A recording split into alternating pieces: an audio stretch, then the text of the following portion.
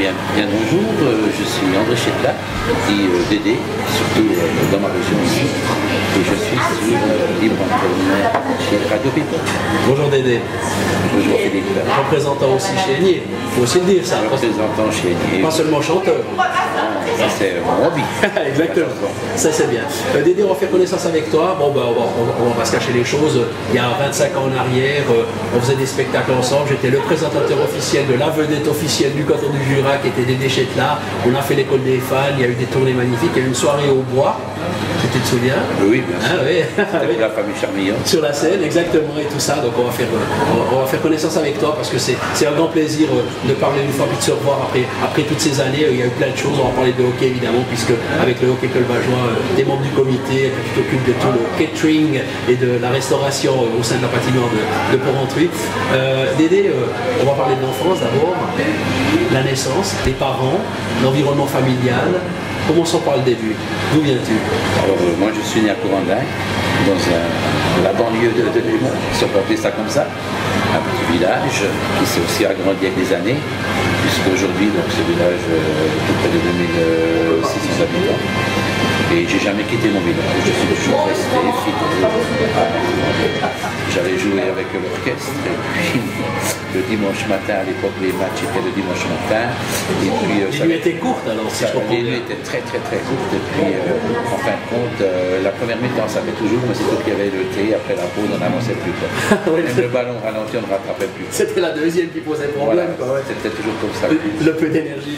Non, j'ai pas fait beaucoup de grandes virées comme ça.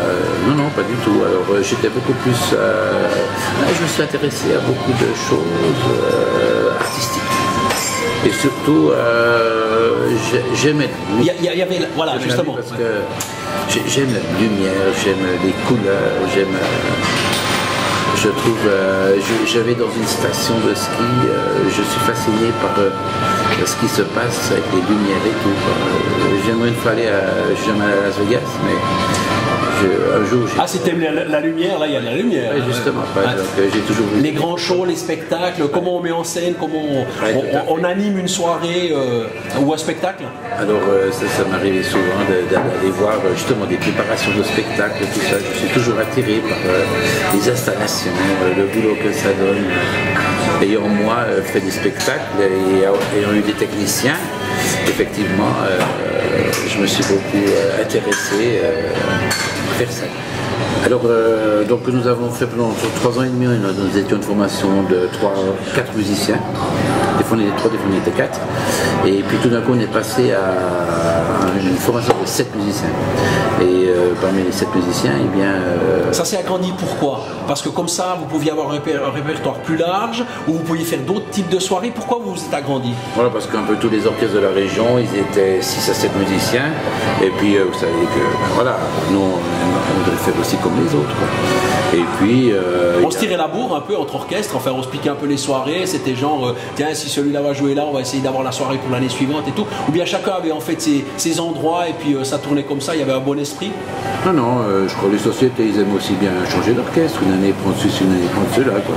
Mais effectivement, donc ils restaient toujours un peu dans, dans, dans la même catégorie d'orchestre. Ils prenaient pas une année un orchestre avec trois musiciens, puis une année un orchestre avec sept musiciens. Ils restaient toujours entre six et sept musiciens. C'était un peu le- le- Et là, donc, on a changé de nom, euh, on a passé au Micmac. Euh, Il est venu un super batteur avec nous. Par contre, plus personne ne voulait chanter, quoi. Et euh, comme moi je chantais euh, en jouant de la batterie, mais c'était très dur, hein, c'était pas si facile que ça. C'est pas évident de faire le batteur et puis en même temps Alors euh, voilà, je me suis trouvé euh, catapulté comme chanteur des Micmac et puis euh, j'ai chanté pour moi. Parce qu'à l'époque, euh, je, je chantais euh, que des chansons romantiques. Et puis euh, les gens pensaient que je savais faire que des chansons romantiques. quoi. Et euh, j'ai décidé de, de, de-. J'ai dit je peux faire un, un show clo hein, s'il faut. quoi. Et les gens ne croyaient pas. Je me suis entraîné avec cinq danseuses pendant euh, neuf mois dans une salle que j'avais construite à Commandin. Et puis euh, c'est là que j'ai monté ce show pendant neuf mois. Et au 10 ans de sa mort, le 11 mars 1988, euh, nous avons fait le premier spectacle.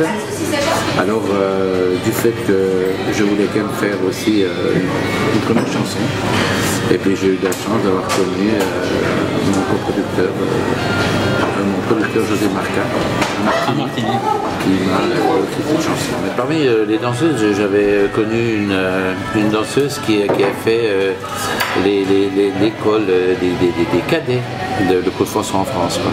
Son prénom? Isabelle. Alors, euh, elle, euh, elle connaissait déjà un petit peu euh, la base de la chorégraphie des chansons de, de Glo-Glo, quoi. Et euh, j'avais quand même euh, mis à part euh, Manuel Alexandrie, euh, Je vais à Rio, très connu, euh, chansons populaires.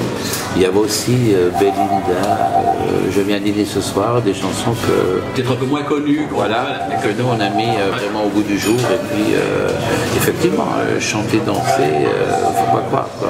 Quand je faisais un spectacle, euh, le spectacle durait une heure et demie non-stop, mais j'étais obligé, euh, entre les, les- les chansons, de, de- de refaire euh, des, des chansons romantiques. La rencontre avec Dominique, euh, bon, la première fois c'était. euh, eh bien, avec l'orchestre. Je faisais encore partie de l'orchestre des, des Micmacs et on jouait à côté d'elle euh, au restaurant à la gare, qui a aujourd'hui la Palmeraie. Et elle était sommeillère là, donc voilà. Elle a craqué sur le chanteur ou c'est le chanteur qui a craqué sur la sommeillère J'avais, euh, 17 ans et puis elle en avait 16, donc euh, C'est qui qui a craqué là sur la première sur- moi je pensais les deux en même temps. On peut dire un peu les deux comme ça Coup de foudre alors et tout C'est possible. Ouais. Combien d'années maintenant ben, ça fait 30 ans de mariage. Voilà. Tu vas faire une grande fête où il y a un programme d'enfer qui est prévu pour les 30 ans. a- Surprise. C'est toi qui fais la surprise pour elle ou c'est qui fait pour voilà, d'accord. C'est moi. Donc elle ne sait pas. Et les grandes années, c'est moi. Voilà, exactement. Donc 30 ans, c'est magnifique. Toutes ça. les autres petites années, c'est elle. C'est important aussi, parce que toi, tu as été pris par ta vie professionnelle, par ta carrière de chanteur et tout. C'est important d'avoir une épouse qui est restée à tes côtés, euh, qui, qui- qui a, qui a géré tout ça et tout. C'est- obligé, ça. Ah oui, bah, elle a toujours été là. Euh, même quand je faisais le show Clo-Clo, euh, c'était elle qui s'occupait. Comment Moi, je crois qu'elle m'occupait de la gamine qui avait euh, 8 ans, 9 ans. Il dire à quel moment de venir dans le spectacle. Elle gérait tous les costumes dans les loges. Voilà quoi. Tout le monde m'a toujours vu avec mes danseuses. Personne ne savait que ma femme était dans les.